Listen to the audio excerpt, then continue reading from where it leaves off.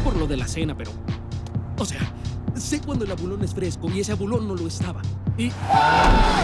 Flash, necesito tu auto y tu teléfono. Uh, señor, te, te, te, técnicamente el auto es de mi padre y no...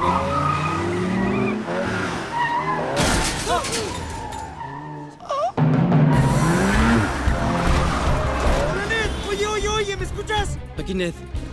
Oye, necesito que localices mi teléfono. Sí, pero ¿dónde está?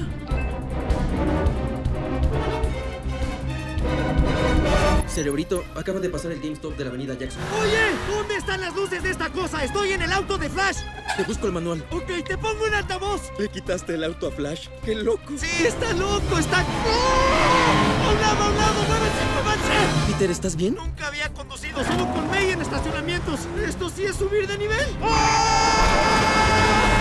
Oye, Ned, ¿ya localizaste a Happy? Ah, sí, ya voy. Debo hackear el sistema telefónico.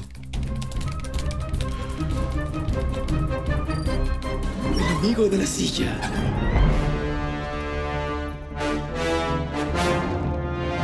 Volamos en nueve minutos. Hola, hola. ¿Quién habla? Ah, señor Happy, soy Ned. ¿Quién? Trabajo con Peter Parker y tiene algo importante que No decirle. inventes, ¿es broma?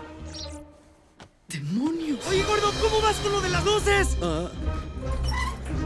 Perilla redonda a la izquierda del volante gira en el sentido del reloj. Izquierda, ok. Perfecto. ¿Dónde está mi teléfono? Ah, se detuvo en un viejo parque industrial en Brooklyn. ¿Qué?